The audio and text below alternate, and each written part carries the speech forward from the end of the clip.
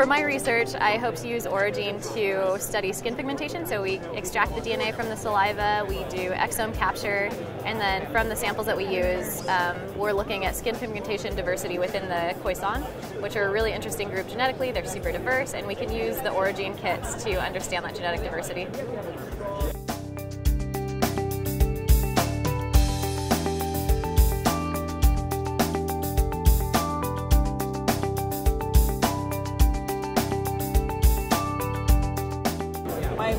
Program of research involves persons with Alzheimer's disease, and I'm very interested in the amount of variability there is in the symptoms in persons with dementia, their cognitive status, uh, functional ability, and behavioral symptoms. And we're hoping to identify genetic factors um, in combination with environmental factors that contribute to that variability in symptoms.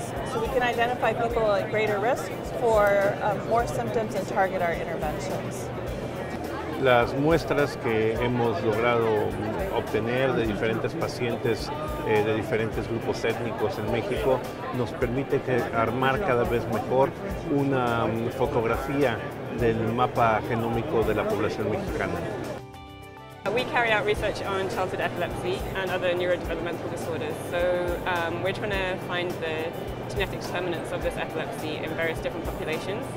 Um, and then we want to obviously then, once we know what's going wrong on a genetic level, trying to find better cures. Because at the moment, are, the drugs for epilepsy are, are pretty rubbish. Um, so hopefully once we know what's going wrong, we can design better medications for the disease. We are mainly doing to, I mean, focusing on uh, identifying uh, genes for complex traits and population structures analysis. So we're, we're working on DNA sequencing to discover the causes of rare intestinal uh, diseases, and we hope to make lots of new discoveries and get good publications out of them.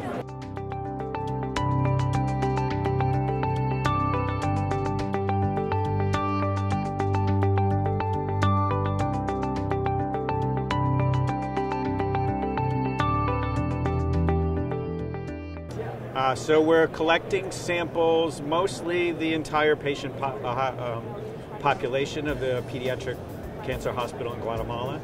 Uh, we've done, we published one study on genetic variants in TPMT genes that are involved in response to chemotherapy, uh, and are just submitting a paper now on retinoblastoma, uh, which is more frequent there. We've documented about twice the incidence in the US and Europe, so we're trying to figure out uh, why. Well, I think that there are some diseases out there and even some non disease traits that bother people, especially uh, parents and especially kids. And I think that it, through using these products, that I can help these people get through their, their issues with genetic problems, then um, that's great for me.